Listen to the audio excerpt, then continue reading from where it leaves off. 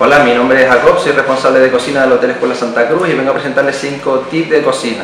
El primero sería el respeto, respeto hacia el cliente, hacia el producto, hacia el medio ambiente. Tenemos que estar comprometidos siempre con, nuestro trabajo y con lo que vamos a hacer.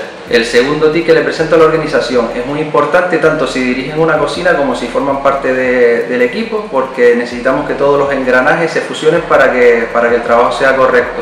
Otro tip que le quiero presentar es la pasión. Eh, la cocina es una, es una profesión bastante sacrificada, trabajamos festivos, trabajamos fines de semana, trabajan cuando todo el mundo descansa, pero también es muy reconfortante ya que te da muchas, muchas buenas sensaciones. cuarto tip que les presento es la limpieza, es muy importante, sobre todo en la situación que estamos viviendo ahora.